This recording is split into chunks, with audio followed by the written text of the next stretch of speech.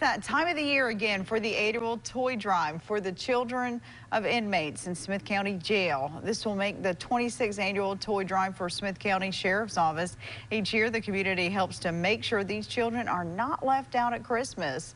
Gifts for these children will be purchased by donations, and the support from donations does not go unrecognized. The sheriff needs your help once again to make this a wonderful Christmas for the children of the inmates of Smith County. Cash donations are preferred and receipts will be issued, but checks are acceptable and must be made out to Smith County Sheriff's Office.